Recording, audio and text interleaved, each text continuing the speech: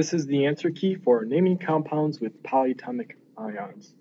Uh, in the title itself, it says the word ion, so we know that these will be ionic compounds.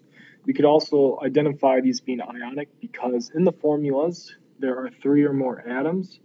If we see three or more atoms in these formulas, we know it's going to be ionic.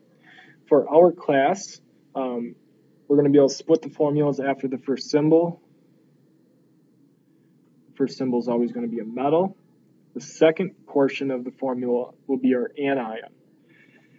If you know what these symbols are, you can just go off of memory. If you don't, you'll need to use a resource. Uh, the back of our periodic table is very helpful. On the left-hand side, we have cations. On the right-hand side, we have anions. And that matches up with these formulas. On the left-hand side are cations, on the right-hand side are anions. So name the first particle, name the second particle. K is called potassium, gets the full atom name. CO3 is carbonate. Polyatomic ion. Na is sodium, full first name. OH is called hydroxide. Ca is called calcium. PO4 is called phosphate. Ag is called silver. NO3 is called nitrate. Ag again is silver. This time we have NO2, which is nitrite.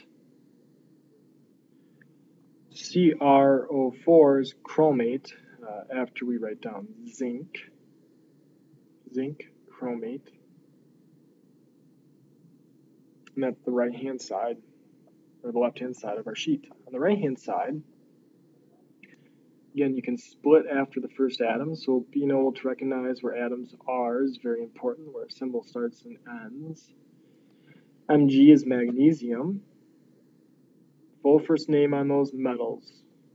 PO4 is called phosphate. K is called potassium. HCO3 is called bicarbonate.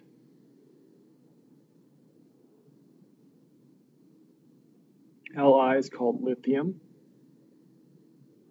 And then SO4 is called sulfate.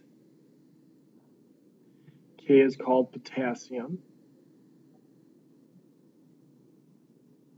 And NO2 is called nitrite. I-T-E. Make sure there's those last three, the suffix is very clear. Al is aluminum. And CO3 is called carbonate. Ca is calcium. OH is called hydroxide.